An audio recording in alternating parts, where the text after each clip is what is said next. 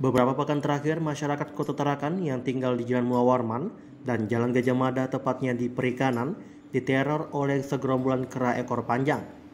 Sedangkan beberapa warga di Jalan Muawarman diteror oleh gerombolan bekantan liar.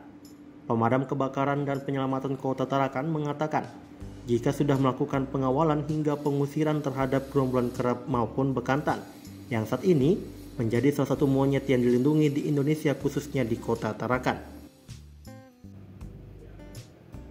Irwan, Kasih Pemadam Kebakaran dan Penyelamatan Tarakan mengatakan, selain informasi dari media sosial dan juga masyarakat, pihaknya juga sudah beberapa kali melakukan penghadangan terhadap kera ekor panjang dan bekantan. Salah satunya di perumahan BMKG.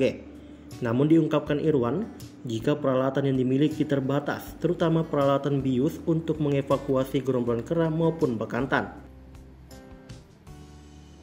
Laporan terkait adanya kera yang, li, yang liar dan juga bekantan.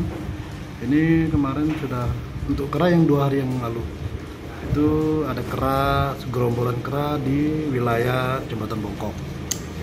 Tepatnya di sekolah SD itu di atas rumah warga. Anggota sudah berusaha untuk mengevakuasi. Ya lagi-lagi kami tidak memiliki alat uh, senjata bius. Dan juga kami hanya bisa menghalau menghalau kera-kera tersebut. Nah, kemarin kami juga mendapat laporan dan kita tindak lanjutin seekor hewan bekantan di perumahan BMKG. Nah, ini kita juga cek lokasi bekantan itu juga uh, lari dari pohon ke pohon. Nah, kita halau mengarah ke mangrove. Tapi ternyata bekantan tersebut tidak mau masuk ke mangrove ya kemungkinan kemungkinan eh, lokasi mangrove ini sudah penuh oleh koloni-koloni baru tentunya perluasan mangrove sangat-sangat dibutuhkan agar uh, jumlah koloni yang di dalam itu bisa tercover. Toi Muhammad melaporkan.